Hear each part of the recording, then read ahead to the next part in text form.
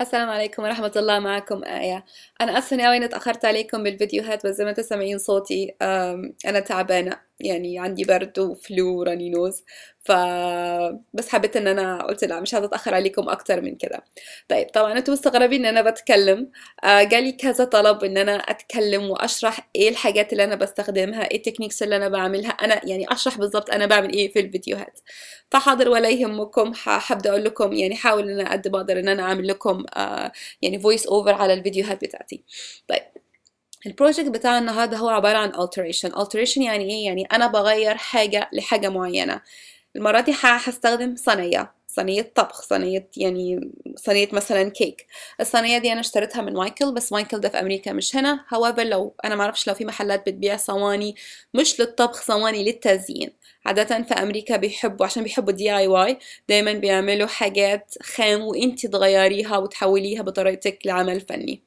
طيب الثيم النهارده عن طبعا عن الأكل. فانتوا زي ما أنتم شايفين ال stamps عن الأكل الاوراق ال design بتاعها عن الأكل. زي ما شايفين في شوك معالق آه، أكل مثلا واحدة قاعدة بتطبخ وهكذا. فهو ده ال- ال project بتاع النهارده. طبعا ممكن العمل ده تحطيه مثلا في المطبخ. طيب هستخدم حاجة اسمها ال gesso هسيب link تحت في ال description box أنا استخدمت إن أنا بتكلم عن الجسو وأهمية الجسو في أي عمل فني.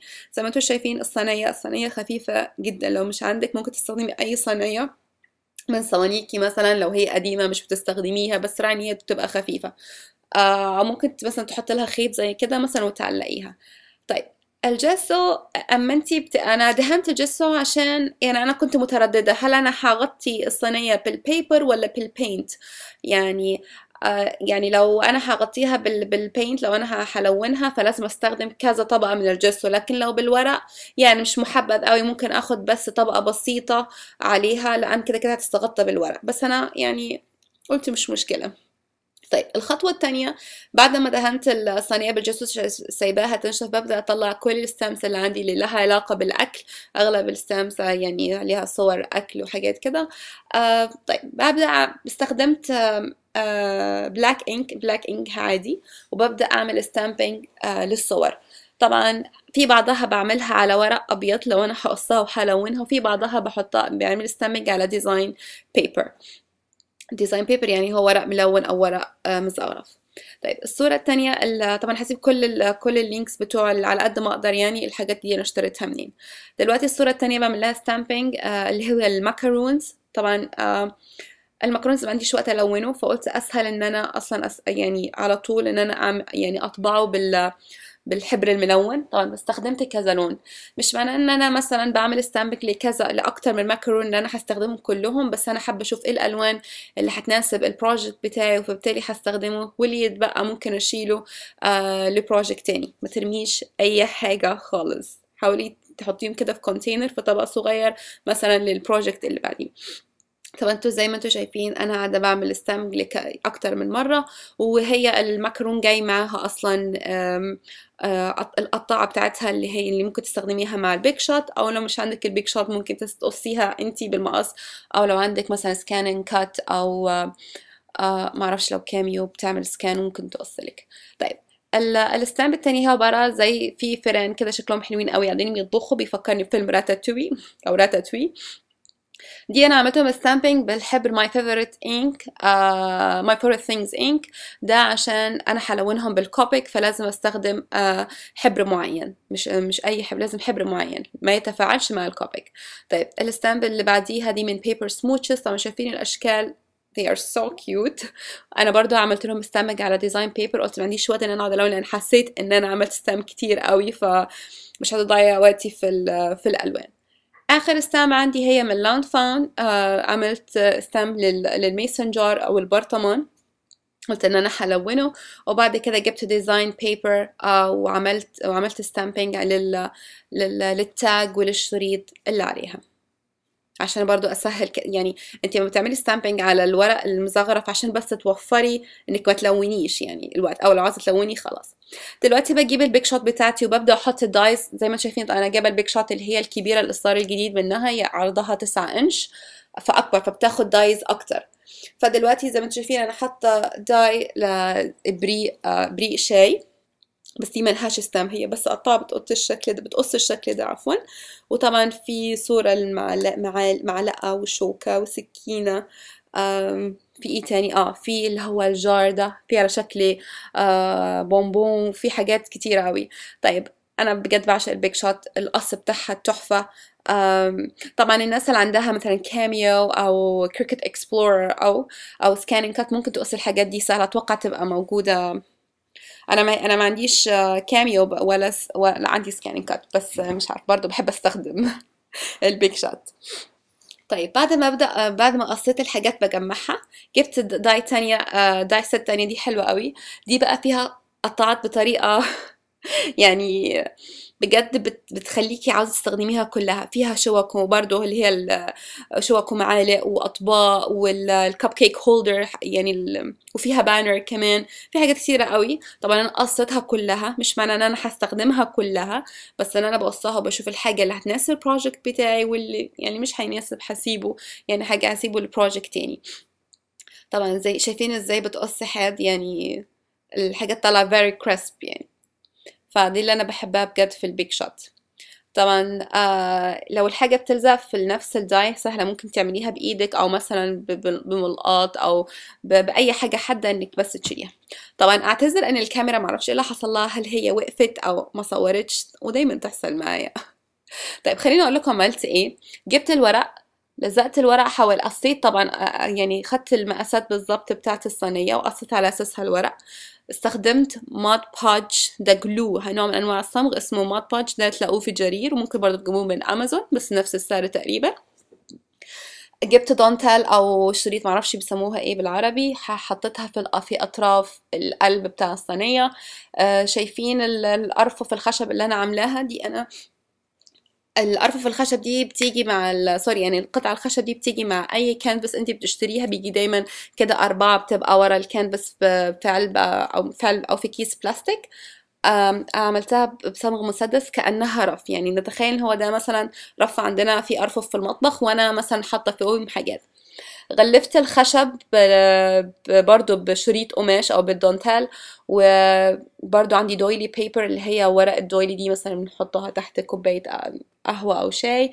آه، ولونها pink آه، نفس الشيء هي doily بس من معرفش من خيط أو من صوف برضو قصتها وحاولت إن أنا آه، أغطيها.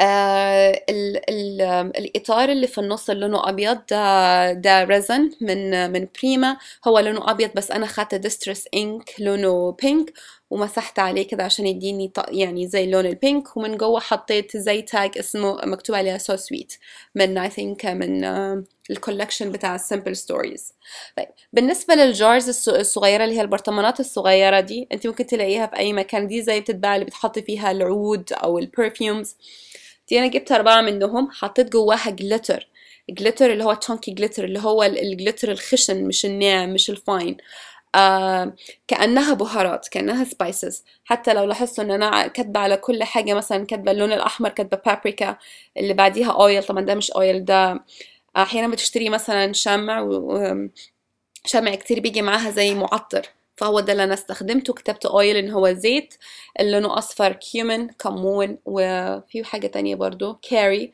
برضو آه لونه برتقالي بس لسه ما حطيتهوش. بس فال... وكتبت طبعا إن هو ده cumin وده oil وعملت عليه ب washi tape pink رفيع لزقتها ما حبيتش إن أنا أحط حاجات كتير عشان عاوزة ال glitter يبان من نفس ال jars طيب نيجي عايزه أوريكم بس بص على الجنب. أنا عندي ال mason jar اللي أنا عملته stamping لونته. بس بعد ما لونته حسيت إن هو يعني مش مناسب لل project بتاعي وطلع كبير شوية فمش هستخدمه فهسيبه على جنب. طيب نيجي لإبريق الشاي. أنا آه بقى اللي قصتهم بال die cuts في آخر مرة. طبعا هم أطرافهم محددة بال pink اللي هو ال distress ink ده نوع من أنواع الحبر إنك ممكن تحددي فيه أطراف الصورة بتديكي منظر حلو. لزقت إبريق الشاي والكوبايه والفناجيل كلهم فوق بعض. طيب نيجي لل دي رسومات برضو أنا عملت لها stamping آه قصتهم كلهم باستخدام أنا قصت كلهم باستخدام ال ScanNCut طبعا it's up to you ممكن ت... طبعا الحاجات دي جاي معاها dies ممكن تقصيها بس يعني هو أرخص إنك تستثمري فلوسك بدل ما تشتري dies كتيرة تشتري ScanNCut لأن هي بتقص على طول أي صورة انت بتحطيها. طيب نيجي لل... للحاجة لل BoBunny pink اللي أنا وريته لكم ده. ده عبارة عن نوع هو عبارة عن paint يعني عن ألوان ولز in the same time. أما ينشف بيديني آه شكل ثلاثي الأبعاد. بينشف جامد فتحس إنه هو حاجة كبيرة كأنه ستيكر طيب بجيب الصور دي اللي أنا اللي أنا قصتها وبخرمها. باخد خرم صغير بالقطاع بالبنش بتاعتي وبحط فيها الدبوس الفرنسي أو آه بعض الناس بتسميه دبوس فراشة لأن أطرافه بتفتح من تحت. فلو انت مثلا يعني عشان يمسك في الورقة. أنا أتمنى يكون وصفي صح بس يعني هو ده اسمه تقريبا آه، دبوس فراشة أو دبوس فرنسي. طيب أنا حطيتهم كده عشان أنا ناوية أعلقهم كانهم كأنهم متعلقين آآ آآ من رف من الرفوف زي ما أنتم شايفين. الدويلي اللي أنا حط حطاها فيها ثلاث فتحات فعلى أساس إن أنا علقت بقى اللي هي المبشرة والفرادة والقفاز بتاع الفرن. فبدل ما أفتح نفس الدبوس فهياخد مني حيز وممكن يبان من تحت قررت إن أنا ألزقه بالجلوجان بصمغ المسدس أسهل وأسرع وبينشف بسرعة. بجد الصمغ المسدس ده لا غنى عنه خالص يعني. بس فهعلق دلوقتي القفاز. هيبقوا التلاتة كده كلهم جنب بعض. طبعا آه الفكرة دي أنت ممكن تعملي أي حاجة. أنا بديكي زي فكرة وأنت ممكن تفكري يعني برا الصندوق زي ما بيقولوا. آه طبعا هنا البهارات اللي تحت اللي هو الكاري اللي هو لونه برتقالي مكنتش عارفة أحطه فين فأنا نيمته تحت. آه طبعا لو عندك صينية أكبر هيبقى الموضوع أحلى طبعا وأحلى. هنا واحدة من الصور اللي أنا آه اللي قلت لكم عليها اللي هي الفئران دي. بعدين بيشربوا عصير. هي في حاجة بس أنا يعني ما شفتها دلوقتي اتضايقت إن إن الفار اللي لونه بني لونه غامق قوي يعني المفروض كان يبقى أفتح سنة. بس anyway قاعدين بيشربوا عصير. في الرف اللي فوقيهم بدأت أرص بقية الصور اللي عندي زي هنا مثلا برطمان زي فوت كنت أكتب برضو sugar مثلا سكر أو أي حاجة. طيب نيجي لل pin ده اللي هو من BoBunny حطيته فوق نفس الدبوس عشان مش عارفة عايزة حد يعني عاوزاه يديني كده لون pink لأن يعني اللون الوردي تحس إن هو طاغي على ال project أكتر. وما ينشف هيدي منظر حلو قوي. آه، okay. آه العلبة دي برضو ما معرفش ما صورتش ليه بجد أنا آسفة. هي عبارة عن علبة عادية وجواها cabochon. آه طبعا أنا في فيديو من الفيديوهات يعني وريت لكم ال collection اللي أنا اشتريته آه من واحدة هي اللي بتعمل الحاجات دي. هي عبارة عاملة زي فيها بونبون و donuts و يعني حلويات بحطتها كأنها حاجة حلويات فوق. آخر حاجة أخدت شريط بونبون لونه آه لونه pink وحامله على على أطراف الصينية عشان يديني شكل نهائي. يا رب يكون ال project عجبكم. لو عجبكم please ادوني thumbs up. اكتبوا لي comments بجد بجد بحب اقرا الكومنتات بتاعتكم. آه، أشوفكم المرة الجاية. بحبكم. مع السلامة.